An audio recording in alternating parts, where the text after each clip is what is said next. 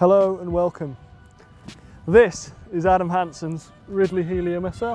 This is Adam Hansen of Lotto Soudal's Ridley Helium SL and I've really been looking forward to profiling this bike because Hansen's position and bike setup is far different from that that we're used to seeing for the rest of the peloton. So let's start there. Handlebars, first of all, are actually quite narrow. They're 38 or 40, which is great for aerodynamics, keeping your elbows and your shoulders tucked in and quite narrow.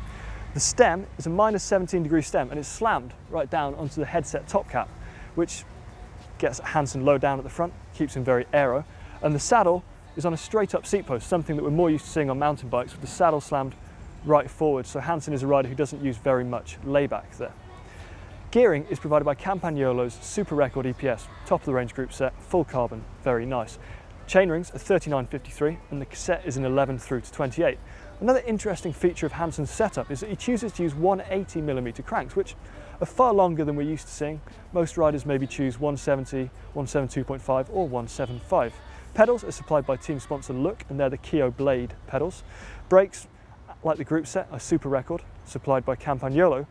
Wheels are Campagnolo too, and they're the Bora Ultra 35, so a mid-section rim, very light and still slightly aero, so great for a range of terrains and stages. Or a rider like Hansen who just loves to go on the attack.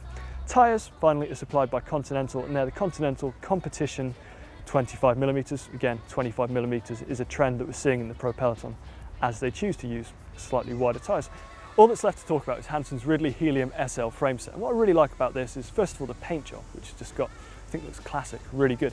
But it's also the straight lines. Instead of the dropped down top tube, the angled top tube, all dead straight, classic looking frame set, yet super modern, super light, and carbon fibre. If you agree and you like this bike too, give the video a thumbs up. See more pro bike profiles, click right there. And GCN have caught up with Adam Hansen a number of times over the years, so to see more videos with Adam in, click down there. And finally, to subscribe to GCN, click on me. This is Adam Hansen.